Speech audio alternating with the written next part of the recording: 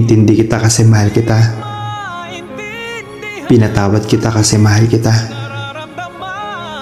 Pero imbis na magbago ka, nakampante ka. Kaya huwag kang magtataka kung bakit nagbago ako. Dahil ang totoo, hindi naman ako magbabago. Kung sana pinahalagahan mo lang ako. Pipili ka rin lang ng jowa. Dapat parang kape. Yung matapang. Para kaya kang ipaglaban. Pitong paraan para tumibay ang isang LDR relationship. Number one, oras. Siguraduhin nyo na hindi kayo mawawala ng oras sa isa't isa. Isa to sa mga paraan para maging matatag ang isang LDR relationship. Number two, tiwala. Ibigay ang tiwala sa isa't isa. Iwasang magselos o magduda para hindi masira ang inyong relasyon. Number 3. Habaan ng pasensya. Hindi maiwasan na minsan ay nagkakatampuhan, kaya hanggat maaari ay habaan nyo pareho ang inyong pasensya lalo pat malayo kayo sa isa't isa. Number 4. Huwag matutulog kang hindi nagkakaayos. Ayusin nyo agad ang inyong tampuhan. Huwag nyo hayaang lumipas na isang gabi na hindi kayo nagkakaayos. Number 5. Iwasang sirain ang tiwalang ibinigay na sa'yo. Ingatan mo ang tiwala na ibinigay na sa'yo dahil kapag ito ay nasira ay maaaring ito ang pagmula ng pagkasira ng inyong relasyon. Number 6. Huwag mong kakalimutan ang mga special occasions nyo. Napaka-importante nito, lalo na sa mga babae. Kaya huwag mong kakalimutan na batiin o isurprise sila sa mga special occasions nyo. Number 7. Lagi niyong babanggitin ang salitang I love you. Itong salitang ito ang lagi nag-uugnay sa inyong relasyon. Kaya wag na wag niyong laging kakalimutan ang salitang ito dahil isa to sa mga paraan para mas lalong tumibay ang isang LDR relationship. Things you should know about before getting into a relationship. LDR edition. Number one, ito yung pinaka-importante. Actually, kahit hindi sa LDR. You need trust. You have to stop thinking na meron siyang iba at you have to stop thinking na ipagpapalit ka niya sa malapit. And kung ipagpapalit ka nga niya sa iba, it's a good thing for you because you dodged a bullet. You know why? Because you deserve better. Know your worth, hon. Number two, don't use your LDR relationship as an excuse para kunin yung oras niya. Let her or him go out with his or her friends. Hayaan mo siyang maglaro. Hayaan mo siyang matulog. At kung ano pang gusto niyang gawin para sa sarili niya. Number three, you have to communicate. Since hindi kayo nakakapagkita in person, you really have to communicate even to the smallest detail. Smallest detail is an exaggeration, pero I hope you understand.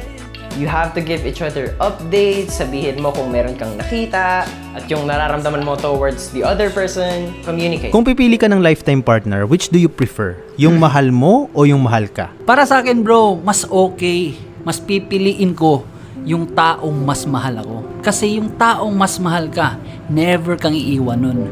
For better or for worse. Till death do us part.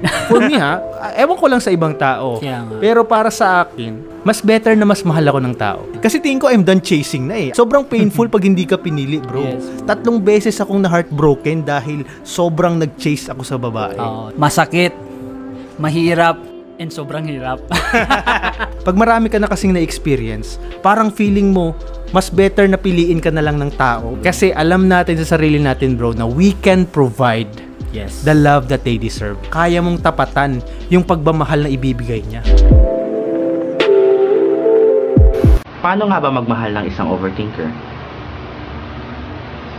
Sabihin na nating mahirap mahalin ang isang overthinker. Pero alam nyo ba, sa pagkakaalam ko lang ha, yung mga overthinker, sila yung mga masasarap magmahal. Sila yung tipong mga taong kapag mahal ka nila, ibibigay nila lahat ng halos meron lahat sa kanila para sa'yo. Sila yung mga tipo ng taong gagawin kang mundo nang hindi mo hinihingi. Ganun magmahal ang mga overthinker. Huwag mong isiping toxic ang mga overthinker. Bakit? Kasi hindi naman nila kasalanan na naging overthinker sila. Naging overthinker sila nang dahil sa mga naging palagay natin, mga pinagdaanan nila sa buhay. Walang taong pinanganak na overthinker. Trust me, walang taong pinanganak na gustong maging overthinker.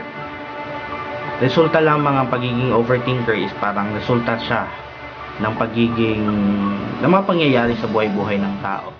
Paano nga ba magmahal ng isang overthinker? Una, paniwalaan mo. Pag sinabi niyang mahal ka niya, mahal ka niya. Trust me, lahat ng bagay inisip na ng taong yan, bakit hindi ka niya dapat mahalin. Kaya pag sinabi niyang mahal ka niya, mahal ka niya. Pangalawa, tanggapin mo. Tanggapin mo na ang taong mahal mo, kung mahal mo talaga, tanggapin mo na parte na ng pagkatao nila ang pag-overthink. Pangatlo, alam nyo ba na para sa mga overthinker, napakahirap mabuhay sa mundong to. Napakahirap maging bahagi ng mundo. Kaya kung mahal mo ay isang overthinker, be compassionate. Ipakita mong andyan ka para sa kanila.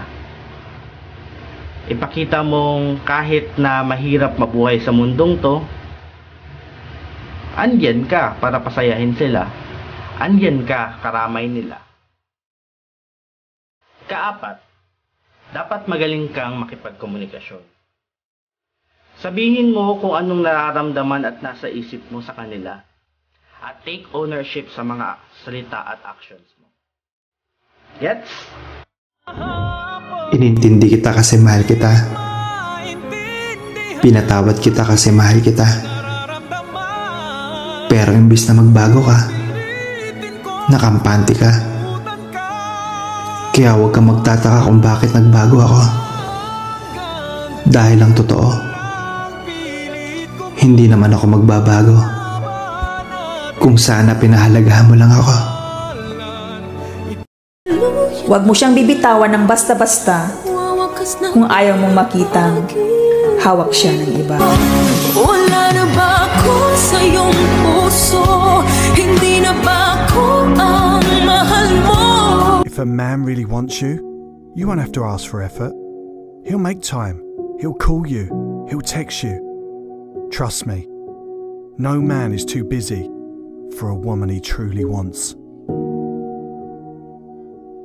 Kung pipili ka ng lifetime partner, which do you prefer? Yung mahal mo o yung mahal ka? Para sa akin bro, mas okay. Mas pipiliin ko yung taong mas mahal ako. Kasi yung taong mas mahal ka, never kang iiwan nun. For better or for worse. Till death do us part. For me ha, ewan ko lang sa ibang tao. Nga. Pero para sa akin, mas better na mas mahal ako ng tao. Kasi tingin ko I'm done chasing na eh. Sobrang painful pag hindi ka pinili, bro. Yes. Tatlong beses akong na heartbroken dahil sobrang nag-chase ako sa babae. Oo. masakit, mahirap, and sobrang hirap. Pag marami ka na kasing na-experience, parang feeling mo, mas better na piliin ka na lang ng tao. Kasi alam natin sa sarili natin, bro, na we can provide yes. the love that they deserve. Kaya mong tapatan yung pagmamahal na ibibigay niya. Pipili ka rin lang ng jowa. Dapat parang kape. Yung matapang. Para kaya kang ipaglaban.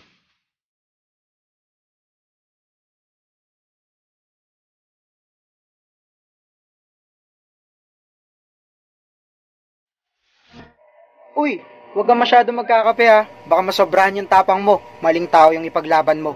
At ngayon, nandyan ka na. Di mapaliwanag. Minahal mo ba talaga ako? Sobra.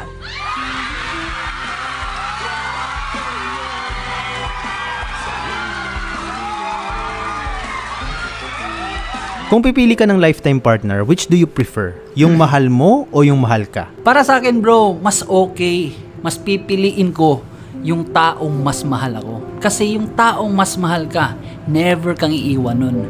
For better or for worse. Till death do us part. For me ha, ewan ko lang sa ibang tao. Kaya nga. Pero para sa akin, mas better na mas mahal ako ng tao. Kasi tingin ko I'm done chasing na eh. Sobrang painful pag hindi ka pinili, bro. Yes. Tatlong beses akong na heartbroken dahil sobrang nag-chase ako sa babae. Oo. masakit, mahirap, And sobrang hirap. Pag marami ka na kasing na-experience, parang feeling mo, mas better na piliin ka na lang ng tao. Kasi alam natin sa sarili natin bro na we can provide yes. the love that they deserve. Kaya mong tapatan yung pagmamahal na ibibigay niya.